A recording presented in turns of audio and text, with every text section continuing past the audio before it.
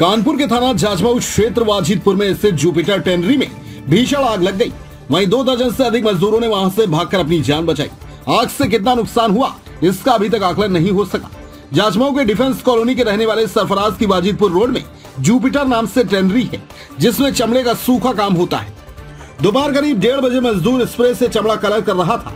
उसी दौरान अचानक आग लग गई। आग लगता देख वहाँ मौजूद टेनरी कर्मियों ने भागकर अपनी अपनी जान बचाई। आग लगता देख वहाँ मौजूद टेनरी कर्मियों ने भागकर अपनी अपनी जान बचाई। वहीं सूचना पर पहुँची तीन दमकल ने आग में काबू पा लिया। सूचना पर कैंट एससीपी अंजलि विश्वकर्मा और थाना जजमऊ की फोर्स मौके पर मौजूद रही। आठिया न्यूज़ 24 के लिए नौसाद अहमद की रिपोर्ट। देश प्रदेश की हर छोटी बड़ी खबर के लिए सब्सक्राइब करें हमारा channel R T I news twenty और बेल आइकन दबाना ना भूलें। जिससे हर खबर आप तक पहुँचा सके हम। सबसे पहले